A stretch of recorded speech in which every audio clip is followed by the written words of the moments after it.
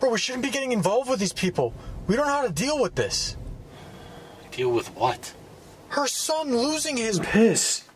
Listen, he created an imaginary friend to deal with the trauma from his brother passing.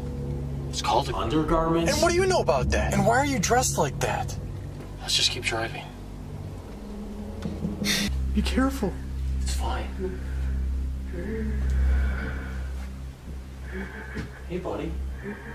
How are you?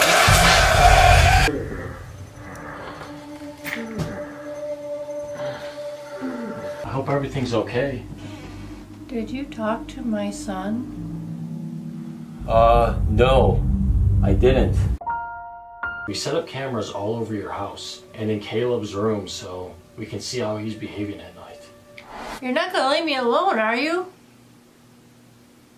I thought you could help keep my bed warm tonight.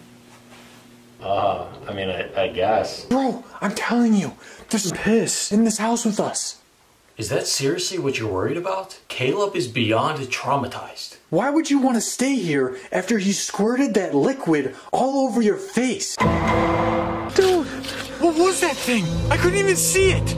I don't know, but I think it's a. Olivia? Who the hell is Olivia's? Let's just go to our car. Okay.